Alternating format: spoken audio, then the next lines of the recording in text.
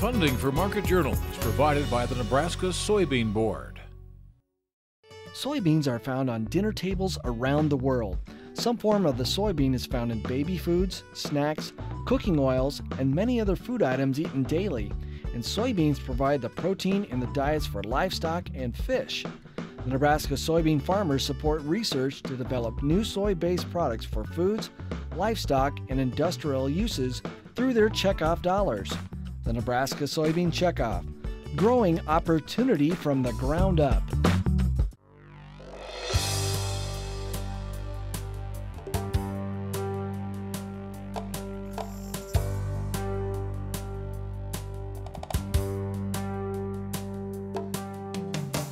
Market Journal, television for agricultural business decisions, is a presentation of the University of Nebraska Lincoln's Institute of Agriculture and Natural Resources.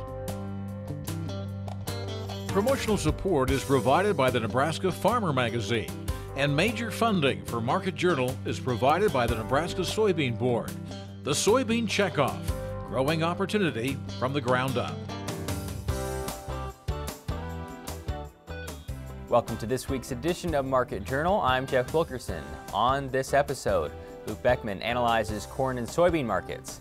Nathan Mueller discusses reducing input costs for next season's crop. Mike McCarville describes the link between soybean aphids and soybean cyst nematodes.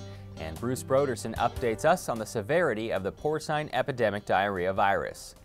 Luke Beckman from Central Valley Ag is our marketing analyst this week. The latest crop progress report shows farmers are winding down in the fields. The nation's growers have harvested 94% of their soybeans and 89% of their corn. Nebraska is one of four states to have finished with soybeans. The others are Louisiana, North Dakota, and South Dakota. We talked with Luke Wednesday afternoon as soybeans were closing out another bad day. They were down Friday, up Monday, and back down Tuesday and Wednesday. We started by asking about the reason for the jumpy movement. That's a good question. You know, the beans definitely got a little bit of a pop here through October, first couple weeks in November. Uh, you know, soybean meal was kind of the last story these, you know, last few weeks, and really it's just kind of a technical technical move right now. Fundamentally, things haven't really changed in the beans. So we're seeing some long liquidation on the charts.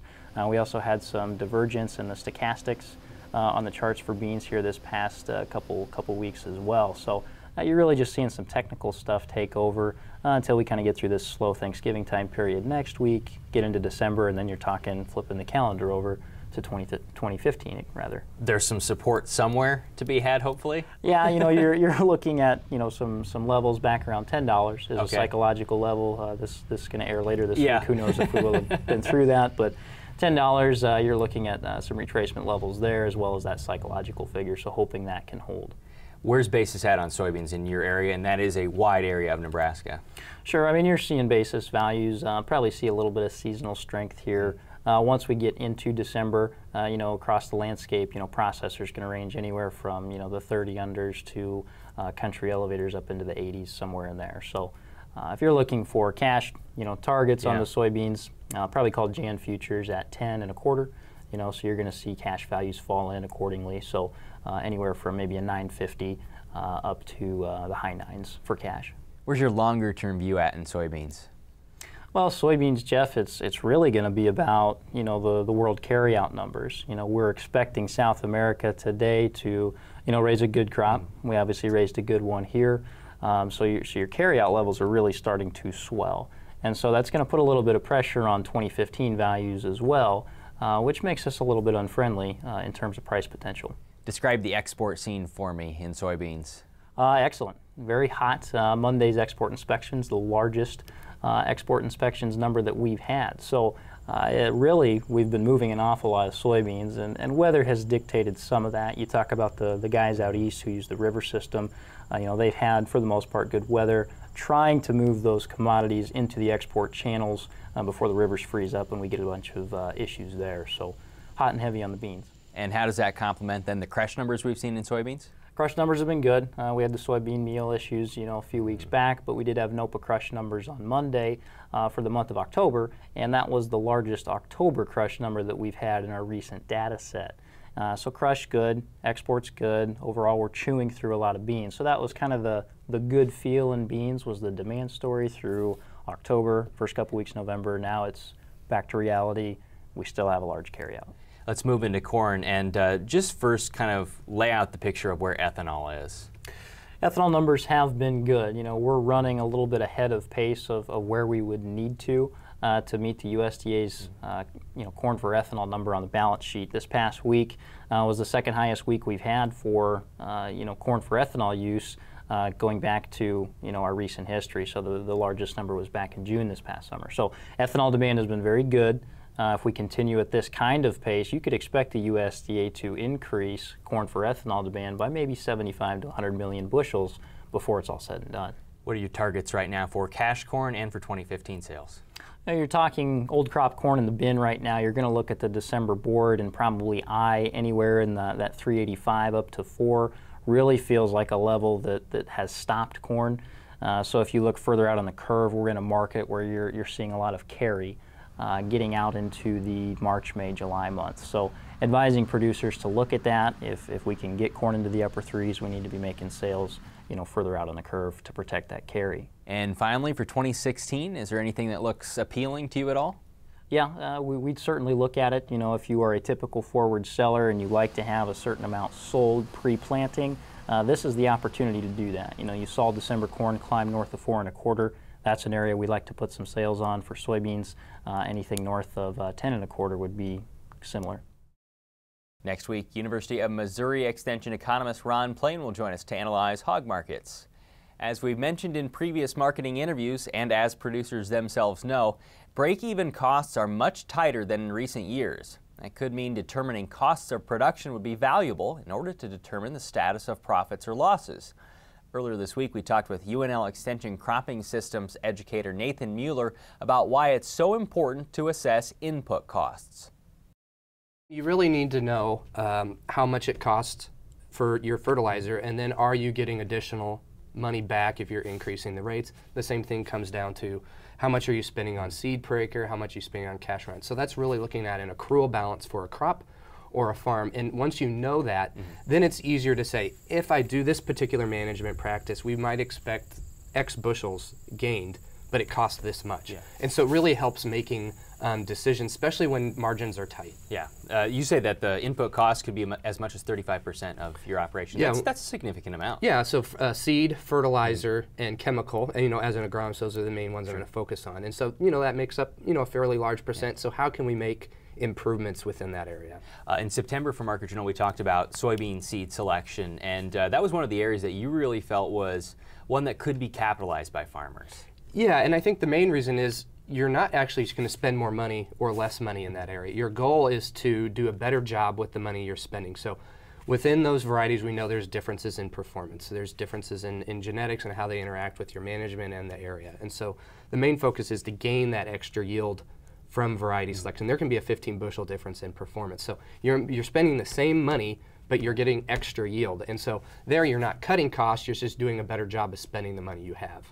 Now that we're done with the harvest, or at least close to done mm -hmm. with the harvest, where can people go for more information about finding yield results? Yeah, a lot of the area I go just because the massive data in the region is first trials. They have multiple locations across Nebraska and across the whole Midwest, so you can see did maybe this variety or hybrid perform good in eastern Nebraska, but maybe it didn't um, over in Iowa. So that's some questions then to ask your seed agronomist or your production agronomist, why would that be? Why did it perform here? What were some management or environmental issues? Let's move into fertilizer as an input cost. Critical first to determine what's actually uh, in the soil profile? Yeah, uh, soil test. If you look at, you might only spend uh, $1 an acre for the soil test and it makes maybe $100 difference in, in how much you're going to spend.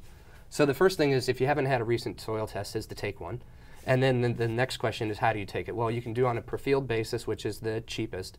But you know with your yield monitor data, you can look at that, that this area's been consistently low yielding, this area high. So it's likely you've been removing different amount of phosphorus, different amount of potassium. So looking at that and then putting that fertilizer where you're most likely to see a return. So putting fertilizer on the low testing soils and less or none on the high testing soils. So again, you may your total amount of fertilizer bill may be the same.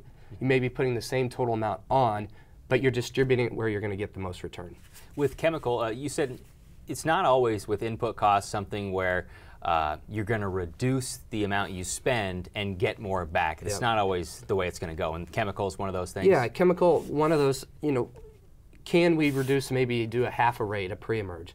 Well, there in this coming year, that may not be the best decision. For example, uh, in areas we had hailed up in Dodge County, Burt County, Cuming County, there was a lot of water hemp that went to seed in those fields, uh, especially in those cornfields that people kept. So we're going to have this huge seed bank to deal with. And so there may be a situation where you were s- spending a little bit more money uh, is going to gain you more yield than it normally would. The yield results site Nathan mentioned is firstseedtest.com. We'll link to it on the Market Journal homepage. You can find more information from Nathan on his blog at croptechcafe.org. The November Nebraska farmer says the supply picture for propane is much improved over a year ago. Cinch Munson of the Propane Education and Research Council tells Nebraska Farmer in this month's issue that suppliers and distributors have increased the amount of propane they can store and supplies are in good shape for winter. He also reviews the Council's financial incentives for producers who purchase propane fuel irrigation engines or certain models of grain dryers. You can read how to apply for those incentives in the November Nebraska Farmer. We already know that soybean aphids and soybean cyst nematodes can drag down soybean yields.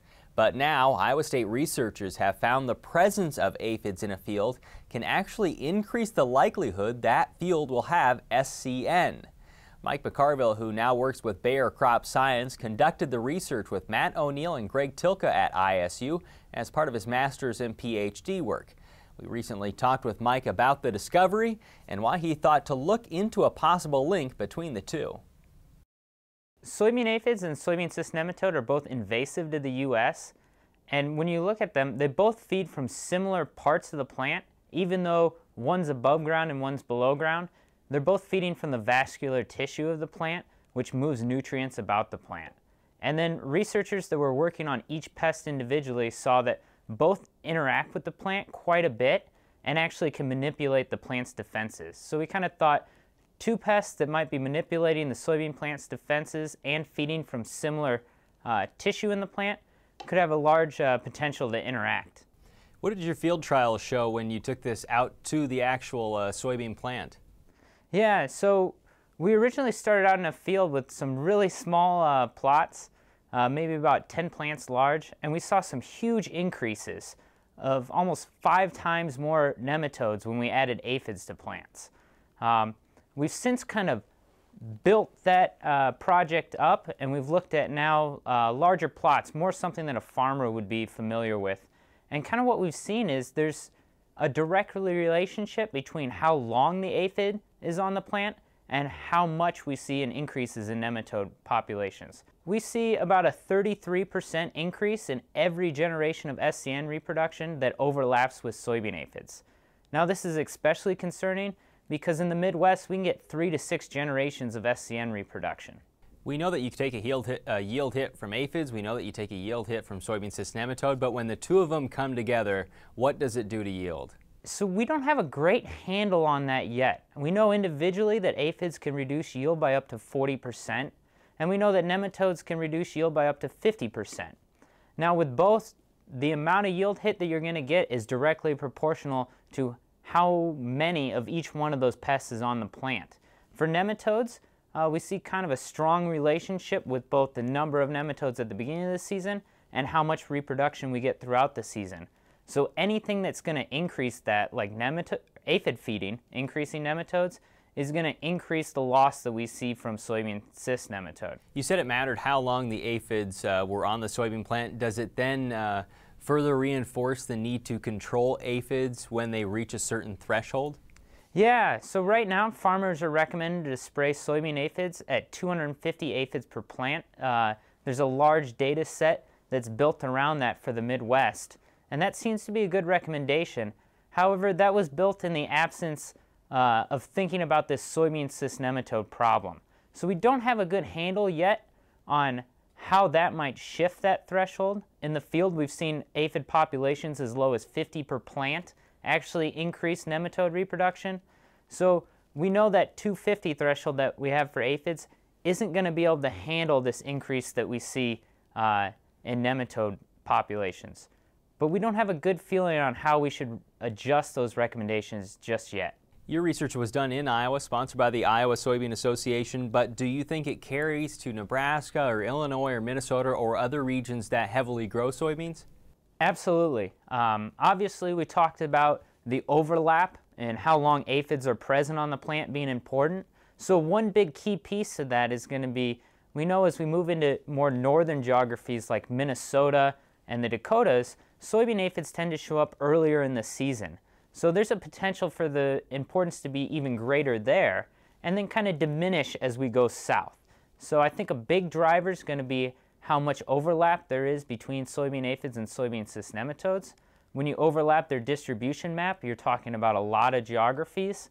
What it means in each one, though, is going to depend on probably the ecology of both pests. When aphids show up, how often they're going to be present, um, those types of things. We can also get into you know, soybean cyst nematodes, really its ability to damage the plant is dependent on soil type, soil moisture, a lot of those kind of factors that vary geography to geography. So I think this is going to be something that we need to get a better handle on the environmental factors so that we can start to ratchet in any sort of uh, extension recommendations that we give growers. Mike, does it matter what variety, if you plant a variety that's SCN resistant, does it appear? Yeah, so that's a great question. That's one of our biggest concerns going into this was we saw a lot of problems in the field with the most common source of SCN resistance, PI 88788. That represents over 95% of the SCN resistant varieties out there, which is what farmers are primarily using to manage SCN.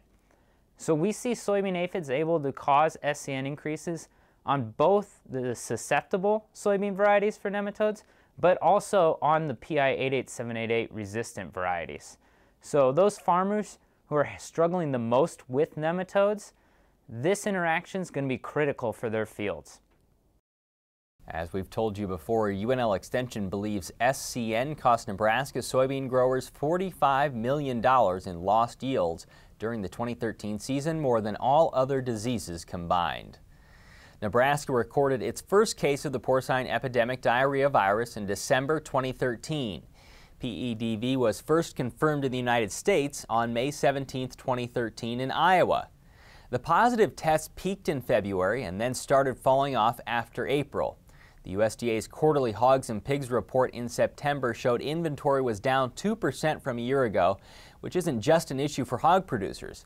A United Soybean Board study shows broiler chickens and hogs are the two biggest consumers of U.S. soybean meal, with pigs using the meal from about 410 million soybean bushels in 2012. As we said when we first started this discussion more than a year ago, the virus carries no threat to other animals, food safety, or humans. This week, as colder temperatures are again here, we talked with UNL's Bruce Brodersen to reset biosecurity precautions producers can be taking on their operations and update its severity over summer and fall. Well, it, it seems like it's been fairly stable through the summer and so far this fall. Of course, it's been uh, pretty warm this fall yet, up until the last 10 days or so. So we haven't seen a big uptick in the number of cases so far. What have we learned about its transmission? Is it uh, going through feed? Is it airborne? What do we know now that we didn't know at this point last year? Well, there's not so, not much evidence that it's really airborne, but uh, it, it, there has been some work that's shown that it is in feed samples or feed stuffs. So uh, have to be careful about the kind of feed stuffs that you're using and and um, you know those those types of things anyway. Has the industry been able to get a handle on death loss, or is it about 100% if you manage to get it in your herd? Well, in in those herds that are totally naive, why there's going to be pretty much 100% death loss in pigs that are less than a week of age. Pigs that are older will survive, and, and as they become older and older, when they're infected, uh, their survivability goes up quite a bit. So there is a vaccine option that's now on the market. Do you know anything about its efficacy or how it's being used? Yeah, there's a couple of different vaccines on the market, and the one that I know some information about, there is some evidence that it is has some efficacy. So so there is some bright spots in the future as far as control with vaccines the immunity issue, you know, initially we thought once a herd got it, that was it. It was going to be immune and wouldn't be able to get it again, or at least the sows wouldn't be able to. What about now? Um, there's been herds, reports of herds that re-break with with diarrhea in those in those baby pigs in the farrowing rooms. So so it's not 100% protection if the sows go through that infection. Um, so repeated controlled exposures or in the future vaccines will help uh, alleviate some of those problems. The uh, American Association of Swine Veterinarians is also keeping an eye on the swine delta coronavirus now. Explain what that virus is and, and kind of how it's impacting herds. Well, it's, it's uh, as the name says, it's a coronavirus, and, and PED virus is also a coronavirus along with TGE virus. And so it's just another form of coronavirus that infects pigs. It doesn't seem to be as virulent as PED virus in terms of the, the amount of uh, mortality is concerned. So, you know, it might not be 100% mortality in those very young pigs that, that get exposed. You're doing some work with some other universities around the Delta coronavirus. Tell me about that. Yes, we, uh, we were able to get a grant through the National, National Pork Board in conjunction with Kansas State and South Dakota State universities. And so we've done an experimental infection and been pretty successful in reproducing disease, the disease and, and um, we did this project to be to have a, an infection model so it can be studied further and also to collect reagents for other researchers to use those reagents or those samples to do other things like uh, develop serologic tests, those kinds of things. You touched on this in the beginning, but it's colder in Nebraska now. Why are we more worried about PEDV spreading? Well, that virus, uh, the coronaviruses in general, don't survive very well in the warm, dry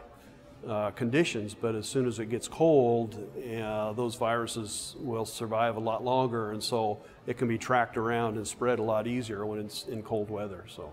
Give me some reminders on biosecurity precautions producers can be taking. Yeah, just have to be careful about where you go and what clothes you wear when you go there, and be sure and change clothes and change boots uh, when you come back home, or and, and also going to deliver hogs to market. Why? That's another source of, of uh, contamination, so you can bring it home from there. Anything specific on disinfectants?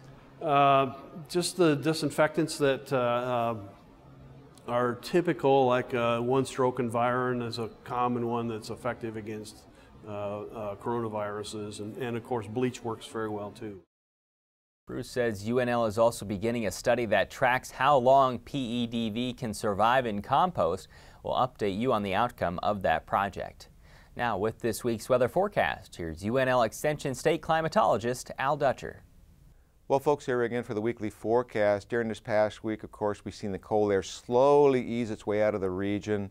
Uh, western Nebraska definitely got much warmer than eastern Nebraska, but we did start to see the temperatures break above the freezing mark during the midweek period and been floating around there in eastern Nebraska for the last couple days. Now, today, with the warm front that went through yesterday, we're going to see a very nice day. It's going to feel exceptionally warm compared to what we've been accustomed to, especially in the eastern part of the state as we approach the highs in the 50s. But more importantly, uh, it does look like we got one more system to deal with as we get late this week and early next week, and then the models diverge in regards to how cold or how warm it is. So my forecast is going to be based off of the GFS model. The European model is significantly colder and isn't so optimistic for Thanksgiving. So let's take a look at the upper air forecast and see what we can expect in terms of temperature and precipitation in this next week. Two things in, to keep in store here. We have a trough that's moving through Texas, that's in the southern stream, and then we have another northern stream trough that is starting to move toward the east southwest. And as these bypass Nebraska, they're expected to merge and explode this system over the northern plains up in the upper portions of Minnesota and create a fairly significant snowmaker. Some of this may actually impact northeast Nebraska, right now most of the moisture is kept out of the region. So as this system passes to our east, we're going to get these downsloping winds and we're going to get some nice temperatures today. Everybody should be up close to the 50 degree mark. In western Nebraska, we may actually see some temperatures approaching the upper 50s. Now, by the time we get to tomorrow, you can see that this cold air really starts to fill in um, as this two systems merge in a single trough. So the cold front is expected to come through the northwest part of the state as we get into the early morning hours, daylight hours, and then rapidly press toward the southeast. There's not a lot of moisture with this. Most of the moisture is going to be cut off from the south south and the moisture will be concentrated around this upper air low, and in between there's not much to work with. So I'm not expecting significant moisture. The only area of concern would be extreme northeastern Nebraska. If this system gets really wound up and spreads out, we could get some backside snow activity that might result in a couple inches. But more importantly, as we get into Monday, this upper air low tracks toward the Great Lakes and we get this northwest flow aloft. It's going to be short-lived according to the GFS, but it's going to give us a couple days of well below normal temperatures. And as we get into Tuesday, we'll start to see this whole system starting to regress eastward, and this big ridge starts to make its way eastward. Now, the European model holds back this ridge for several days compared to the GFS. So for Thanksgiving, we're basically under a cold regime in the European model, but for the the GFS, we're looking at much warmer conditions. So by the time we get to Wednesday, you can see this ridge building in. We'll see temperatures starting to go back toward normal. And as we get into Thursday, which is Thanksgiving Day, it looks like a fairly nice day according to the GFS and temperatures that are going to be above normal. And that trend will continue into Friday as we get a broad-based trough or ridge building over the center part of the country. And we have a trough approaching the western United States that may impact our weather as we get into the very first part of December. So let's take a look at the temperature forecast. We're looking at nicest conditions will be this weekend. And then we see that cold air infiltrating into the region. If the models are correct, this will be an accurate forecast. If the European model verifies, then we would expect that the temperatures will be much colder during the midweek period before we do warm up toward the end of the week. 8 to 14 day forecast indicates colder than normal conditions. I think this is overdone. And in terms of precipitation, a dry trend. But with that storm coming the southwest, this also may be, be a blown forecast. More updates next week in terms of the 30 and the 90 day forecast. Thanks, Al. Today's interviews can be found on the Market Journal website and through the Market Journal mobile app. They include information on corn and soybean markets, reducing input costs, the link between soybean aphids and SCN, and an update on PEDV. As always, you can follow Market Journal during the week on Facebook, Instagram, and Twitter. Next week, Ron Plain will be our hog market analyst. Until then, thanks for watching. I'm Jeff Wilkerson. We'll see you next week. Join Market Journal online at marketjournal.unl.edu. You can also follow us on Facebook and Twitter. Promotional support is provided by the Nebraska Farmer Magazine. Funding for Market Journal is provided by the Nebraska Soybean Board. The Soybean Checkoff, growing opportunity from the ground up. Market Journal is produced by the University of Nebraska Lincoln's Institute of Agriculture and Natural Resources.